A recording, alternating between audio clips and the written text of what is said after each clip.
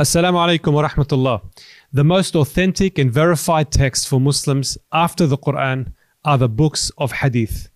They're foundational to how we understand Islam and its practice. But if the Quran is complete and perfect, why do we even need the Hadith to begin with? How can we be certain that the Prophet ﷺ actually said something? And what should we do if one of his narrations, peace be upon him, is deemed to be less than authentic?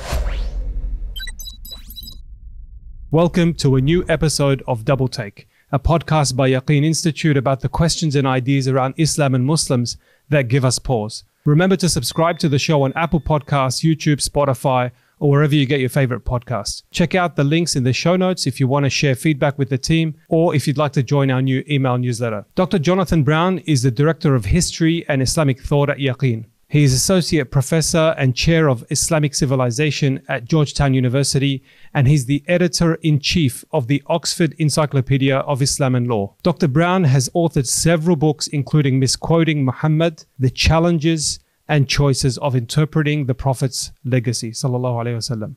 Enjoy the episode. Dr. Jonathan Brown, Assalamu alaikum, and welcome to Double Take for the first time, Marayad. Wa alaikum assalam wa rahmatullah wa barakatuhu. Uh, yes, thank you for inviting me.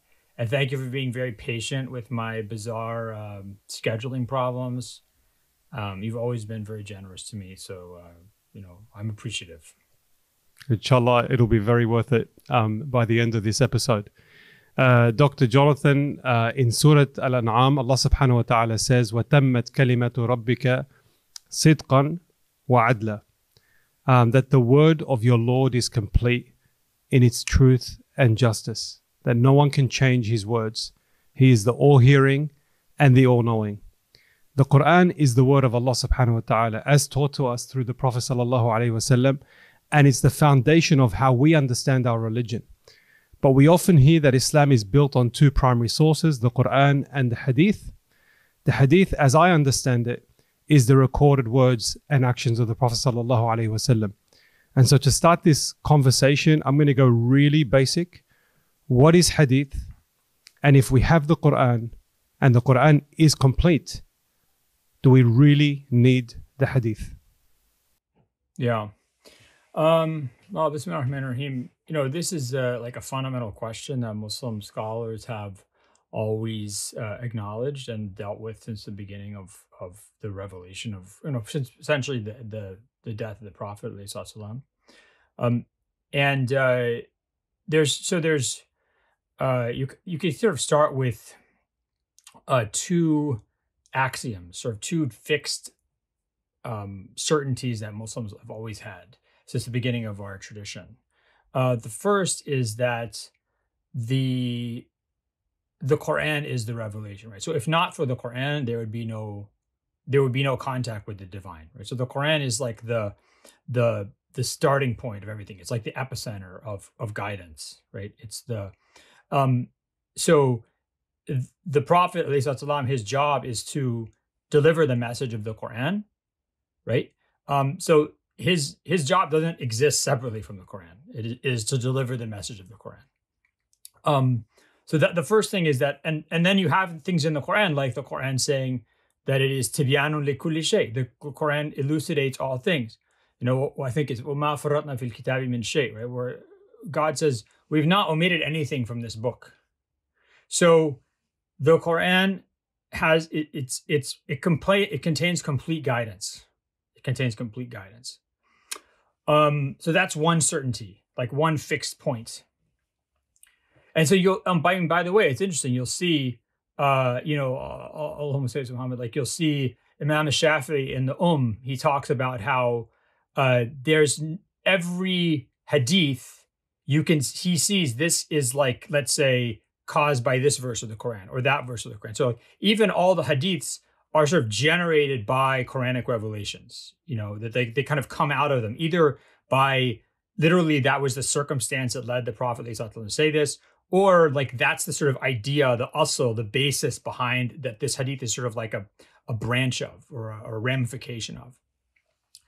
Um, or you have sayings like in uh, Abu Nu'aym al-Isbahani's Hilyat al-Awliya, uh, the, the Ibn Abbas is quoted as saying, you know جميع علوم في القرآن I think it's in حلية الأولياء جميع علومي في القرآن ولكن تقاصر عنها أفهام الرجال right so all knowledge all sciences are in the Quran but it's it's like human minds that don't see that right so that's why you'll see like if there's someone who's a, a like a especially a Muslim scholar who's been um, kind of what's it's called like majdub. They've been almost granted ilm ladunni by God, right? So their God is like enlightened their hearts.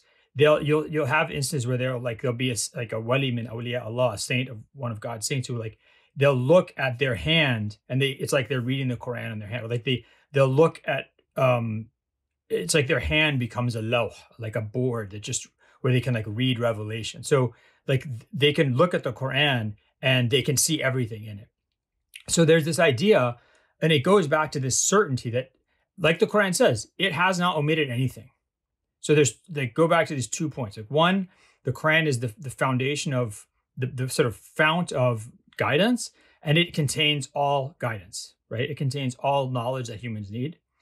But on the other hand, what's the other sort of certainty is not debatable. Muslim scholars have never debated it, which is that there are things that we know are part of our religion that are not explicitly mentioned in the Quran. I mean, Imam Shafi's favorite example, five daily prayers, right? So there's no point in the Quran that no point in the Quran does it say there are five daily prayers. There's the Fajr prayer and the Dhuhr prayer and the Asr prayer and the Maghrib prayer. And you do it. And and by the way, when you pray, you stand up like this and you hold your hands and you raise your hands and you bow. Do you do you bow down and then you put your head on the ground, right? So this is all explained through the Sunnah of the Prophet. So unless you're going to say that we don't actually, that's not really part of our religion, it's not really core to our religion, it's sort of some extra thing. Unless you're going to say that about the five daily prayers, both in their number, their timing, and their actual physical manifestation, unless you're going to say that that's not really part of our religion, you have to say that there are things that are essentially part of our religion that are not explicitly mentioned in the Quran. And if you take these two things together, you so they're both certainties you have to reconcile them and then what you get is the idea that the kind of the seed of all knowledge is in the quran. The seed of all guidance is in the quran. But that the prophet uh, kind of uh, nurtures it or expands it or adds to it explains it through his sunnah of the prophet through his through his sunnah right? So his his tradition his explanation his guidance.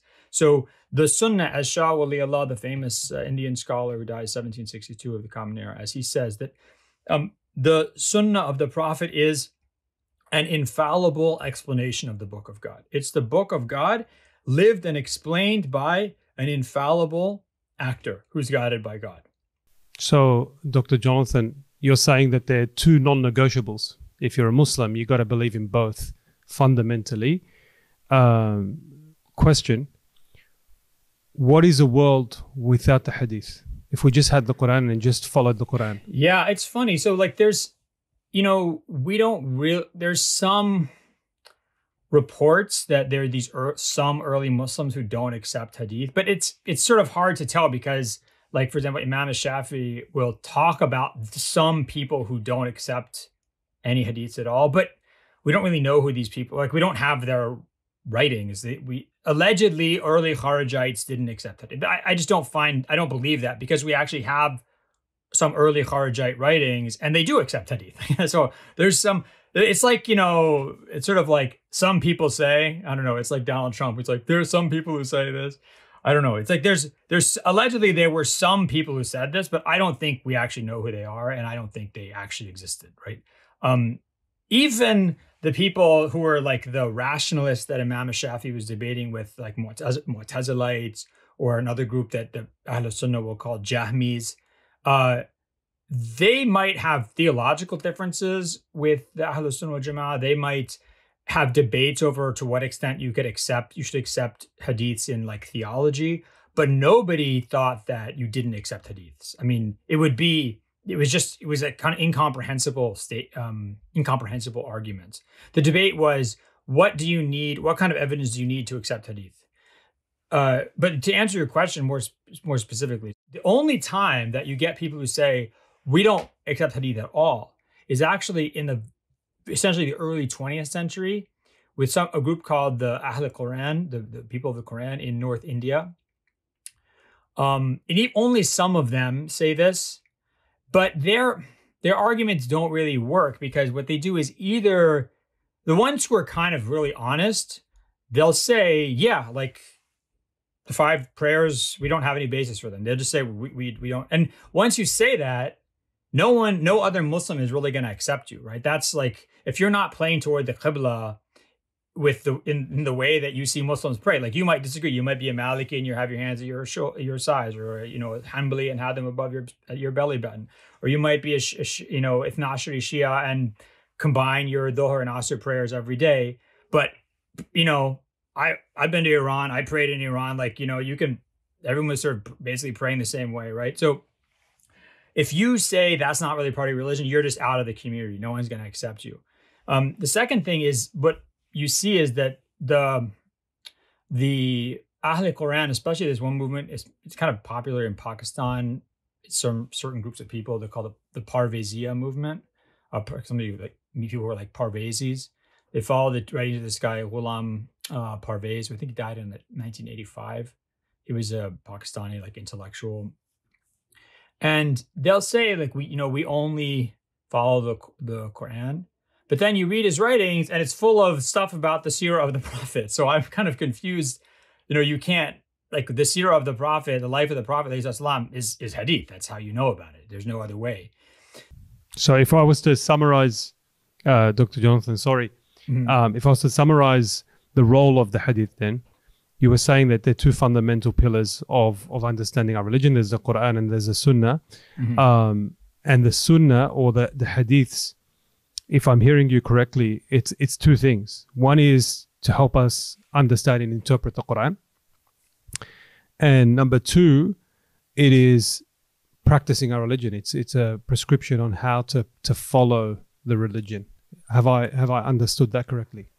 Yeah, but I mean those are those are basically the same thing, right? I mean the sense that we follow the religion we follow is the, the teachings of the Quran, right? So um by explaining the Quran, we know what our religion is. Yeah, but the Quran doesn't say the Quran, as you mentioned, the Quran doesn't mention five daily prayers, um, but the Hadith does. So how do, how do you jump from from one to the other? There is some interpretation or explanation. So the Quran tells us to follow the Prophet, right? The Quran tells us that he's goodly exemplar. He tells us he doesn't speak from his own desires. It tells us that you know uh, whatever he commands us to do, we're supposed to do it, right? Well, imagine this: like I tell uh, my kid to go and um, you know vacuum the car or something like that, you know, vacuum out the car, and then I say, you know, anything you don't understand, just ask your brother about how to vacuum the car, and you have your brother will explain it to you and do what he says. So I've given the command. Now I can go off and like, you know, drink coffee or whatever I'm going to do, you know, and watch TV. And they're going to vacuum the car. And I've given part of my order is for one of the brothers to listen to the other brother who's going to tell him what to do. So that's basically what what the Quran does. The Quran gives guidance, and then part of that guidance is to listen to the explanations of the messenger of God. And so there that's where that's why we're authorized to that's why we're required to follow the sunnah of the prophet. And by the way all muslims acknowledge this right? So there's not really a debate about this. Yeah i just as a as a simple muslim i just want to understand the role of of the hadith and i think that's that's relatively clear yeah. now. Um well i would say one i would say I, this that there's yeah. So we've talked about the sunnah so so the sunnah is like this it's the authoritative precedent of the prophet muhammad and it's the infallible interpretation of the Quran. Now, the question is, how do you know what the Sunnah is? And the Sunnah is basically known through three ways. One is through hadiths, right, which are reports about things the Prophet said, things the Prophet did, things that were done in his presence and that he didn't object to, right? So his actions, his deeds, his words, his affirmations, those are hadiths. Um, and then the second source of the Sunnah is essentially uh, traditions of reasoning, right? So the early uh, companions, when they're coming to when they when they leave Arabia and they go to southern Iraq or Syria or Egypt, and they come across new traditions and clothing and practices and communities and technologies and stuff like that and they have to figure out well how do we act what how does god want us to act uh, a lot of times they especially you see this with like Omar bin al-Khattab radiallahu ta'ala anhu or Ali or Uthman or uh, you know um, other senior companions Ibn Mas'ud uh, Aisha um, right? They'll they're they'll come to rulings. They don't actually cite the prophet but they they spent decades with him and they learn how to think like him. So they learn it's like uh, the example i always give is you know my like my parents. I for the life of me could not tell you maybe more than two or three things that my mom like actually quote things my mother said to me.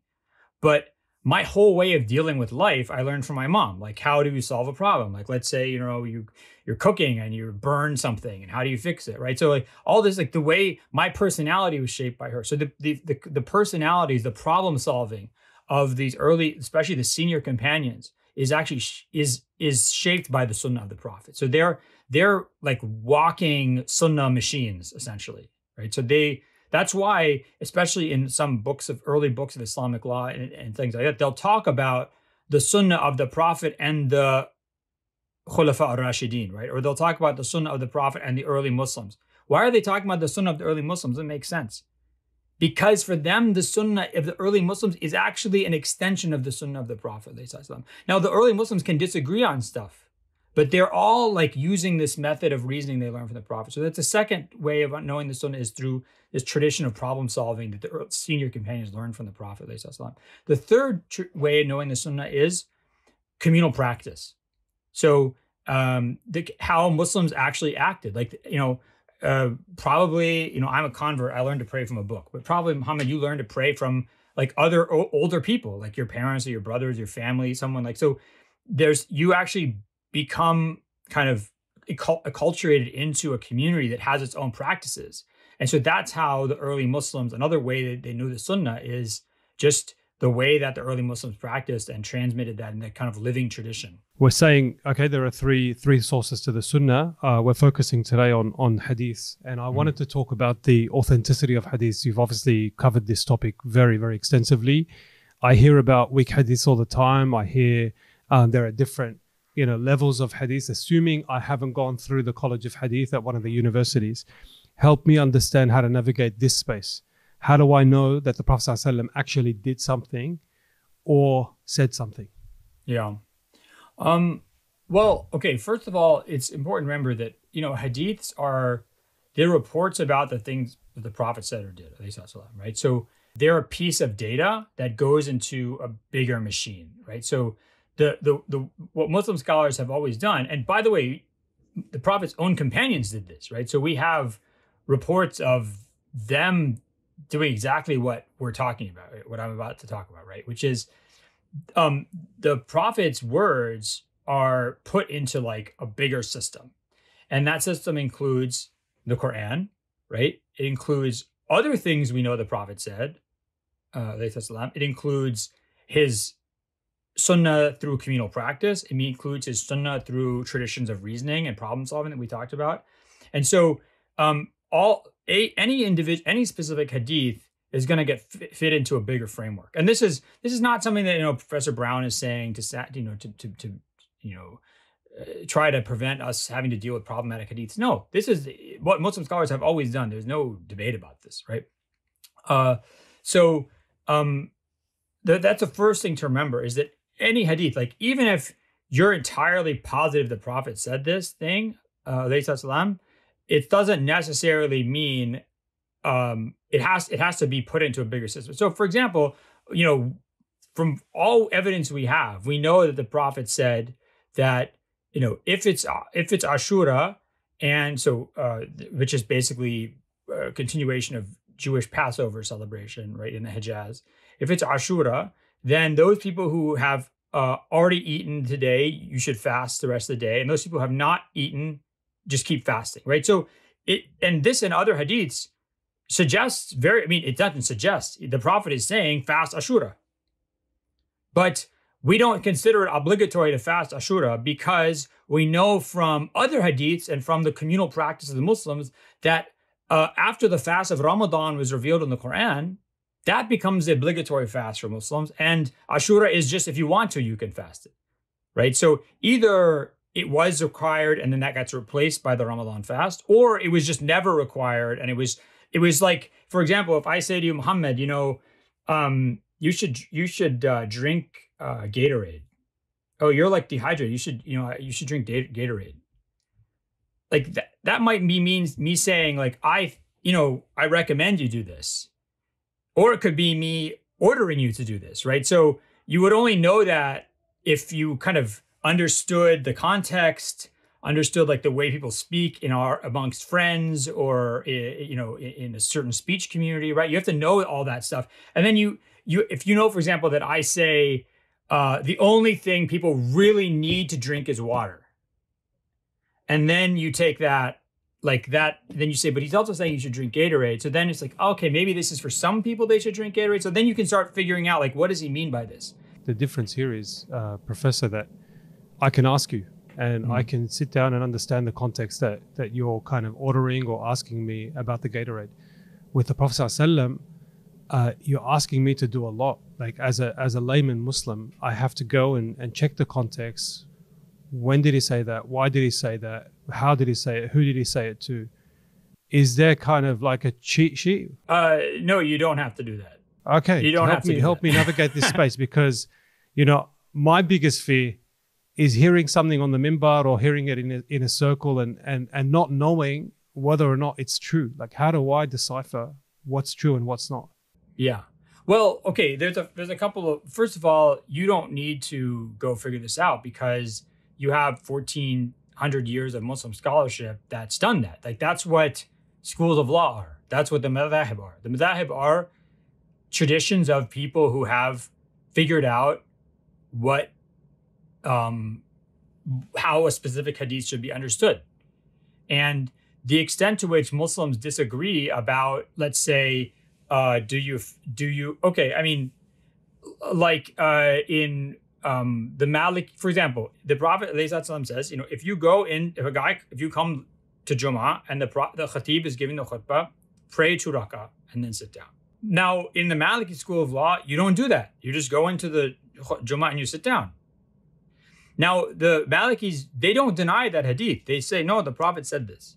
But uh, he was talking to that guy specifically. It wasn't a general rule. How do we know that? Because from the general sunnah of the Prophet and the early Muslim community, the kind of practice, communal practice, people wouldn't go and pray two rak'ah and then sit down. So there's, you can see there's a difference. So in, in the Hanbali school, you would pray two rak'ah and then sit down. In the Maliki school, you just sit down. And actually, both of them, they don't disagree about the hadith. They just disagree about how you understand it. So you, you don't need to go and figure this stuff out for yourself because you have 1400 years of Muslim scholarship that has already done that. If I was to ask you to summarize how someone might figure out if something is authentic or not, what that process would look like, how do you do it, for example? Yeah, I mean, for me, you know, once you if you know Arabic and stuff like that, um, or Urdu, um, you know, you can probably you can you can find this information in books. Uh, even you can look on i mean it, it's uh, people make fun of like sheikh google and stuff like that but actually if you just look for stuff online even in english you can usually find um, pretty good explanations right? So the the what you would do what i would do right is i would talk to a scholar that i respect. So that's that's what you know that's why there's there's a there's a principle that muslim scholars cite like going back a thousand years um, which is that the al-ammi la madhhab lahu, right? The, the lay Muslim has no madhab. What does that mean? They don't mean that the lay Muslim just does whatever. What they mean is that the, the lay Muslim isn't sitting around being like, I'm a Hanbali, I'm a Shafi, I'm a this, like they, their job, or sometimes they'll say, madhab al-ammi, madhab al-mufti, right? That the madhab of the lay Muslim is the madhab of whatever the mufti says right? So uh, they're not, you're not, lay Muslims are not qualified to go and engage in this pro in this problem solving process I talked about, right? So they're supposed to go to people who are specialized in this. Just like I don't know, like you know, if my leg starts hurting, I don't know what the heck is wrong with my leg. I go to someone who's trained in what's in how to deal with people's bodies. It's called a doctor, right? So, um, same thing. Like we we we should turn to scholars who are uh, who we respect. So, what would you say the the key the key factors to the authenticity of a hadith are? Like when I'm looking, what am I looking for? This early Muslim hadith scholar Shu'bah ibn al-Hajjaj, who dies around 773, I think. He's from Basra, right? He says three quarters of the hadiths I've come across are forgeries. Three quarters. So it's a huge problem. By the time you get to like 100, 150 years after the death of the Prophet, there's like an ocean of forged hadiths, uh, forged or mistaken, er, er, errant hadiths. And so Muslim scholars have to figure out how to sort this out. So one, uh, there's two general methods they use, right? One is to say, um, look, uh, the Quran we know kind of the message of the Quran, we know the general message of the Prophet, um, and if this hadith seems to be saying something that contradicts that message or goes against it, then it's not we're not going to take it, right? Uh, that makes sense in theory. The problem is that if that hadith could be explaining something in the Quran that you haven't understood properly, right? So the, the the the Quran says you're prohibited from eating maytah, like you know, dead animals, carrion. So if you find a hadith where the the the, the companions of the prophet eat from this dead whale which is washed up on the the beach, so the prophet said he didn't object to this, to them eating this whale from the ocean that was dead on the beach. So you could say, oh, this contradicts the Quran, so this can't be something the prophet said. But, or is it saying that the the prohibition on carrion is only land animals and not sea animals. And then you find another hadith of the Prophet where he says, you know, the the ocean is pure and its dead are pure, right?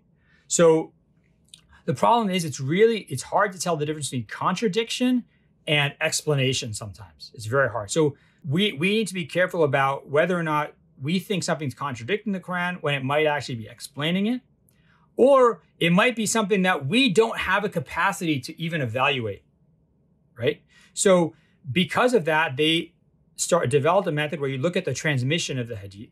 You see, okay, uh, is this transmission corroborated by other transmissions? Is the person who's narrating it generally, when they narrate things, do other people narrate the same thing, right? Uh, or is somebody saying, ah, that guy is the only person who narrated this from his teacher or her teacher, Therefore, this is suspect, right? So they start to engage in transmission criticism, and then they start to figure out who are the reliable tra- transmitters. Uh, so that's the method they use. Now, so in theory, right, what would make a, a hadith sound sahih would be if there's a trustworthy transmitter who heard directly from another trustworthy transmitter, who heard directly from another trustworthy transmitter back to the Prophet. That now that's uh, Sahih Isnad, but unless it's like a very strong Isnad, or unless it's not really a controversial issue that the Hadith is dealing with, what would really make it sound is if there's multiple narrations. Like a, you can imagine like a, a, tree branching out like that. That's what makes something really strong, is a tree branching out. Uh, it's called sh- uh, shuhra, or or like something being well known or widespread. So the the now, so that's the, the sort of general rule. Now, the bulk of the important hadiths in law, like so, uh, you know, um, how do you do wudu? Um, what makes water dirty so you can't you you can't use it for wudu, right? These these hadiths are not actually going to usually don't meet that like totally trustworthy person from totally trustworthy person from totally trustworthy person back to the prophet. They don't. Are you saying they don't meet it? They don't. But they're they're what they are backed up. What makes them sound, or what's called in this case good or hasan, is that they are widely transmitted, right? So they're like really widely transmitted, or they're acted on by lots of Muslims. So with those hadiths that are like the kind of a lot of the main major hadiths for Islamic law, for like Sharia, uh, buying, selling, marriage, divorce, stuff like that, they're actually their main uh, kind of the main argument or the main evidence for their reliability is their widespread transmission and their acceptance by Muslim scholars. So you're saying um, there's been centuries of work done by scholars way before us who would listen to all of these hadiths and categorize them into different categories in terms of sahih, hasan, etc. And they would generally use three three criteria. One would be how trustworthy the narrator was, and then the chain of narration all the way to the Prophet ﷺ. That would be one major factor. The other one would be um, that the hadith is narrated several times or multiple times uh, to the extent that it can, can be considered uh, uh, very reliable. And the third one is that there's a consensus about the practice of, of that hadith, if, Yeah. if I'm not mistaken. So they're Yeah. the three kind of general. And, and so what happens then, Professor, if someone comes out and says, okay, that's great. Um, I like that methodology and I accept that methodology. However, most of your hadiths come from someone like Abu Huraira, and then he starts questioning the character of Abu Huraira. So so first of all, like um Abu Huraira doesn't narrate very many hadiths that are not narrated by other companions. So uh, this idea that somehow like you can find, you know, that if you get rid of the hadiths of Abu Huraira, you've gotten rid of like all this problematic, this problematic corpus. That's just not accurate because he doesn't narrate a lot of hadiths that are not narrated by other companions. What happens in the um in the 700s and the 800s is there's a debate between what would become like the Shafi and the Hanbali schools of law and what would become the Hanafi school of law. Okay.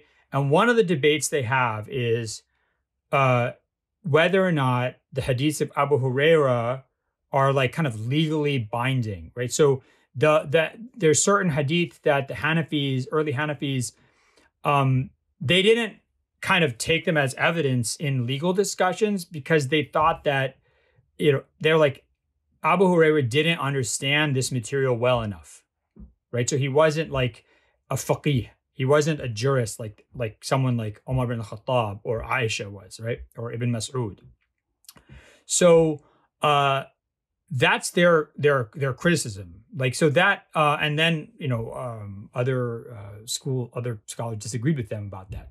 Now, the point is that so Abu Huraira becomes and then there's another uh, issue which is uh, a lot of the Shiite attacks on Sunni hadiths are also based on what they do is they'll go in and find this like inter-Sunni or intra-Sunni debates over Abu Abu Huraira, and then they'll start like kind of inflating that, like blowing that up and making say, look, look, look, even Sunnis don't trust Abu Huraira, right? So there's an attempt to like kind of um, use that as a wedge to uh, argue against Sunni understandings of the Sunnah of the Prophet.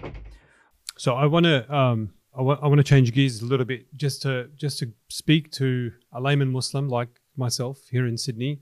I'm very detached from you know the centers of power in the Muslim world, so I I need some hand holding here. Um, you spoke a lot about context, looking at the context of a hadith that the Prophet ﷺ would say. Uh, you spoke about you know seeking uh, some some support from a scholar, uh, following a, a school of thought uh, that's already digested a lot of the hadiths to to help interpret um, uh, the the Quran. Uh, what if I'm sitting there and on the mimbar the sheikh is saying something like a very big bold statement, the hadith of the Prophet ﷺ where Prophet ﷺ says that I was ordered أمرت أن أقاتل أقاتل الناس حتى حتى يقولوا لا إله إلا الله like that I was ordered to to kill everyone until they say لا إله إلا الله to fight Um, everybody. I- yeah. yeah uh, or fight everybody yeah, Yeah. so I, I hear that big bold statement there are many there are many in our religion that you hear like Prophet ﷺ actually said that and as a layman I want to know the level of authenticity the context but I just don't know the process I mean I can ask people but that will take me in a in a in a loop Well, I mean, there's no way around asking people. If you don't know, you have to ask people who know, right? There's no way around that. Like, there's no, there's no replacement for expertise. Uh, there's just nothing you can do about that. Uh, but what I would say is that that's like that hadith is actually a very good example of the process that Muslim scholars go through, right? Which is, you know, the that hadith is, if you look at its chain of transmission, it's very sound hadith, right? There's no debate about amongst Muslim scholars. They don't debate that the Prophet said this, right? They, the Prophet said this. Alayhi salam. Um, the uh, uh, but what but when you put it into that system, that bigger system, right? So we know from the Quran that, for example, Muslims, if you uh, if Muslims fight or conquer non-Muslims like Jews or Christians or Zoroastrians or whatever, right? So they don't have they they can continue they can continue practicing their religion and they pay jizya, right? So right there they don't have to that hadith it doesn't apply, right? So we know that you don't have to uh, fight people until they say la ilaha illallah because at least for people of the book, people who practice other religions, and the prophet included, you know, says like treat Zoroastrians like you treat people of the book, and then Muslim scholars extended that to Hindus and Buddhists, everybody they met, right? Um, that these people uh, continue to continue practicing their religion, they just pay jizya, the jizya tax. Uh, then you um, you look at like other narrations of this hadith. So you there's different narrations of the hadith, and you see like some narrations, Sunan Nasa'i says, Umirt an al mushrikeen. So it doesn't say I've been commanded to fight the people until they say there's no God but God and Muhammad is messenger of God. it says I was commanded to fight the polytheists. It's like, ah, this is interesting because who is the group that the only group that the Muslims actually fight until they become Muslim is the polytheist Arabs in Arabia. That's the only group. Other groups, every other group Muslims encounter in history, they just they don't they allow them to continue practicing their religion. They don't care. They just say, okay, you guys keep practicing religion, pay jizya, it's fine. So when you look at the like you look at the you, you put this hadith in the context of the Quran, you put this hadith in the context of other narrations of that hadith. So you look at other instances of the sunnah of the Prophet, and then you understand uh, what the, the Prophet meant by this, right? And that's actually what Islamic law says as well.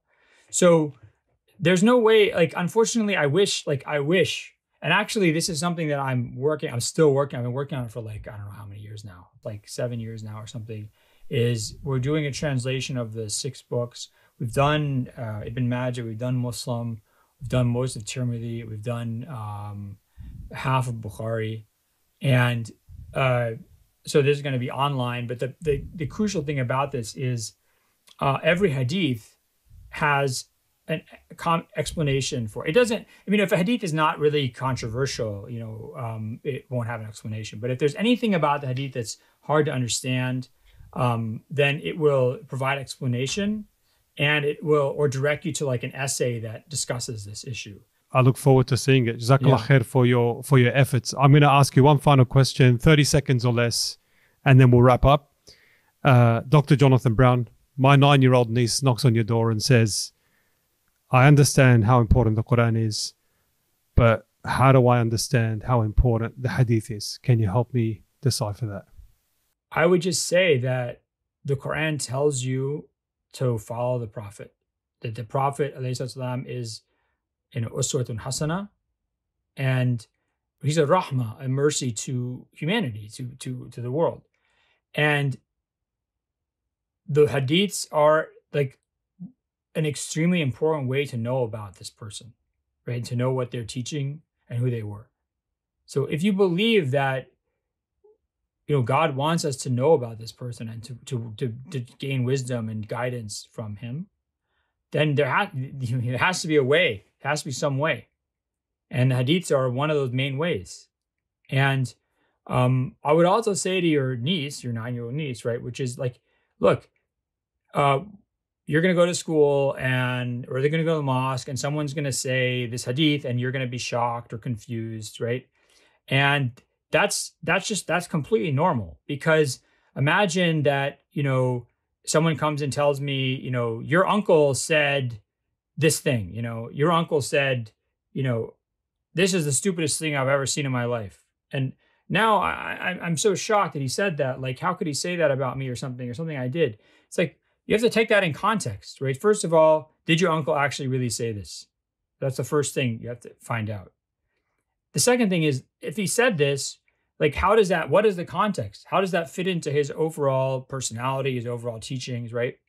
And um so when when I when I always tell my students like or people who come and ask me like oh what do I do when I hear hadith that I don't understand or that shocks me the first thing I say is like don't you don't have to have an opinion like you don't have to um, do what anyone tells you you can just suspend judgment and say like look I need to look into this and then you can ask scholars you respect. You can look it up online. I mean for for all we know there's a lot of great resources online right? So and that those are both you know terrific ways for at least finding out some information you know? Um, but a, a, lot of times people feel like they're kind of getting beaten like hadiths are like rocks they get thrown at them and they don't know how to handle that uh, and they feel bad if they don't like kind of immediately submit to them. But that's not what we're taught to do as muslims right we're taught to ask for evidence you know to burhanakum and kuntum sadiqin like the quran we don't believe things muslims don't be- that's why i'm muslim I'm not required to believe stuff without evidence. I don't have to change my life or accept a belief without some kind of evidence. So, you know, the if someone tells you a piece of information, you ask them like, "Where did you learn this?" This is what the Ibn Al Mubarak said. You know, the the the first foundation of you know eh, eh, isnads or authenticating hadiths is like, where did you get this information? Where did you get this? Okay, a lot of times people can't answer that. The second thing is how does this fit into the bigger system of our religion, of our values, of our of the teachings of God and His Prophet, Salam? And if that person can't give you the answer, then you know I would just not listen to them. And if I would look for somebody who can give you the answer, either a scholar you respect, or you can find it in books or something like that. Right? There's all, all sorts of resources. Professor Jonathan Brown, Jazakallah khair. This is your first episode on Double Take, inshallah, first of many. I appreciate your time and uh, inshallah, see you next time. Wa Thanks for inviting me.